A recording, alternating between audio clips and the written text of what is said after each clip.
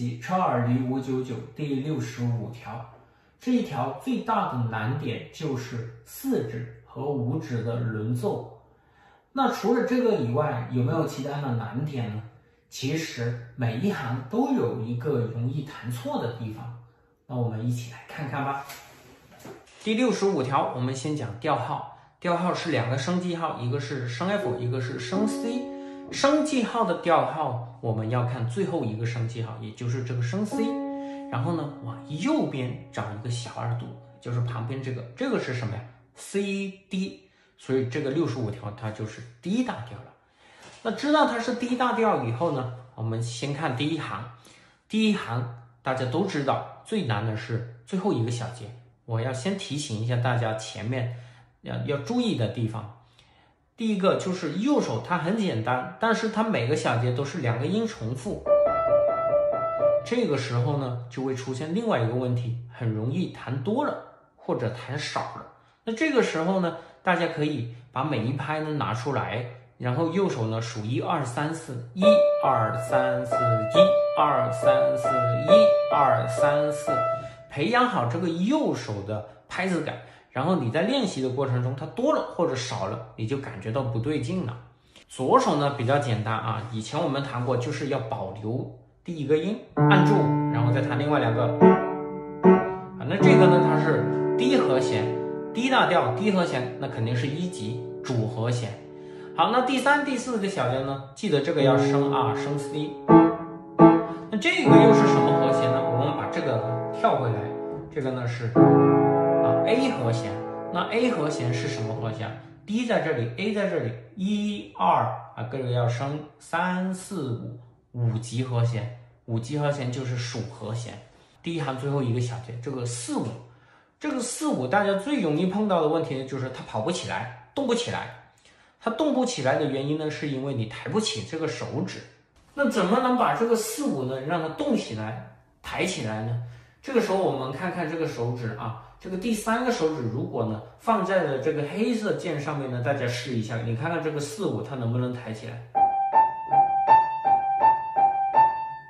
对吧？就是这个手指头呢就会粘着这个琴键，它没办法抬起来。虽然说我们在练习这一条的时候，这个手指不用抬的太高，但是你靠得太近呢，它就容易啊变快变慢了。那这个时候怎么做呢？注意这个第三个手指，其实你这个第四个手指抬不起来呢，就是因为这个第三个手指。那第三个手指要怎么办？就做我们最基础的高抬指，把这个手指抬起来，然后手腕不要掉下来。然后这个时候呢，还是要慢速，不能马上变快的啊，要慢速。因为啊，我们人的肌肉都是这样，像我们跑步。我们一开始跑步肯定也不可能跑得很快，就是靠锻炼啊，越跑越快，越跑越快。手指也是一样，要慢慢的锻炼，不要着急。那记得这个三抬起来以后，这个四五它就能抬起来。但是记得这两个手指还得立起来啊，就是你的动作只要是不正确呢，就很难把这个东西弹对了。第一行我就慢速的带大家弹一遍。然后呢，我会帮大家数这个一二三四，但是大家要注意，第二、第三个小节这个右手这个 F 要升，一二三四，一二三四，一二三四，一二三四，一二三四，一二三四，一二三四，一二三四，一二三四，一。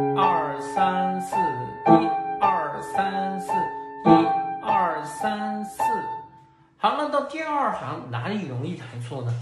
其实第一个小节就容易弹错，因为我们前面呢是弹的四五。假如说我们这个五呢，啊，刚放手呢，这个三就是弹这个三四的时候，这个四就抬不起来。为什么呀？这个四它本身就是最脆弱的啊，它就会受旁边的手指影响。那刚刚弹四五的时候呢，要把这个三抬起来。那现在我们要弹三四的时候呢，我们就要把这个五抬起来，要不然这个四呢，它也抬不起来，对吧？你把这个五啊放在下面呢，你就发现它又没办法抬起来了。那是不是就只有这个小节啊容易弹错呢？其实后面也有。那我们哎一边弹一边说啊，那继续一样的这样弹法，一二三四，一二三四，一二三四。那这个时候呢，右手就变成了这个。那这个呢，其实还不容易弹错，只要呢大家找准那个位置就可以了。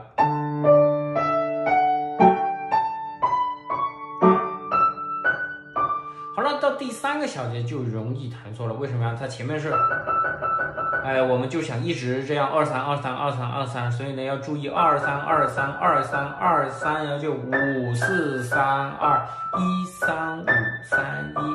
那最后面这几个呢，它的弹法都改变了，所以不停的转换呢，很容易弹错，所以呢要小心。好，我们直接开始了，这个很简单。那这个左手呢，就来到了这个 A 这里，啊，最后一个小节这样。我们直接两个手一起，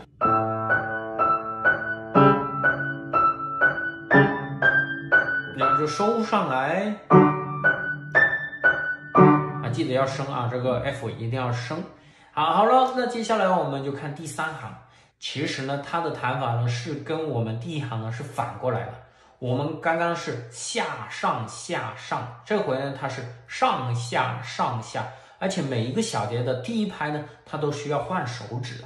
好，我们先看看右手，一开始呢就是这个一二三四，一二三四，一二三四，然后这回呢它要换手指了，一，然后把三收过来。然后二三四一二三四一二三四又要换成一了，到第三个小节，然后把二跨上来，啊，要升，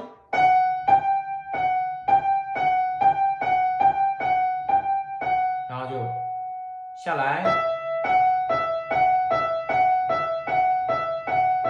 其实呢，大家只要注意好每个小节的第一拍就可以了。这个左手呢，它是有点。规律在里面的啊，我们看这一开始呢，最底下这个呢是升 F，然后呢它就会低了一个到一，啊记得 C 要升，当然后面这两个呢大家要要记一下才行，然后呢再低一个到 D，然后再低第一个到 C，但是它要升，然后这个比较特别了，第三行最后一个小节的左手这两个都得升啊。两个黑色，三个都是黑色，这个啊，然后呢，我们就慢速弹一遍第三行。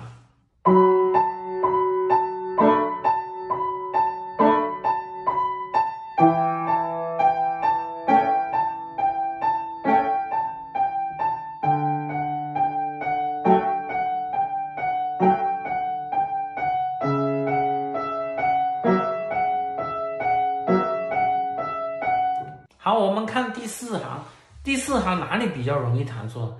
其实就是第二个小节和第三个小节都容易弹错，因为中间的弹法的变化、指法的变化，很容易让我们呢就会弹错了。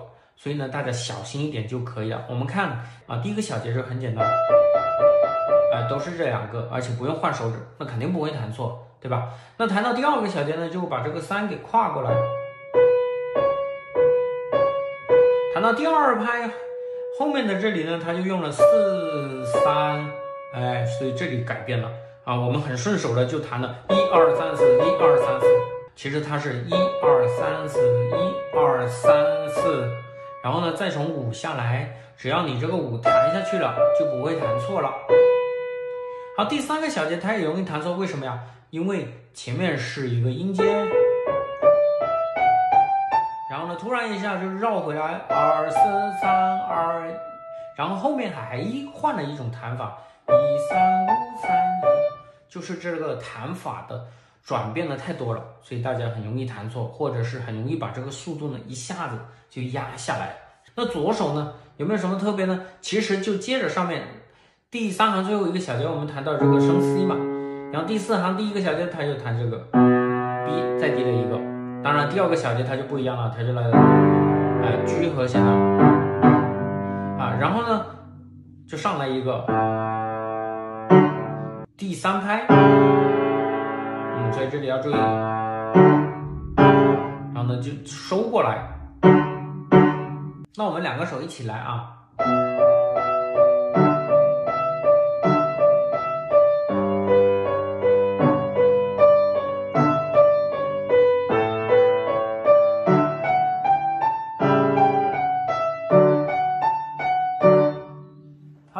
十五条我们就学完了。在学习六十五条的时候，我们就知道基本功是多么的重要，把这个手腕、手指做好了，我们在后面的练习，相对能够轻松一点。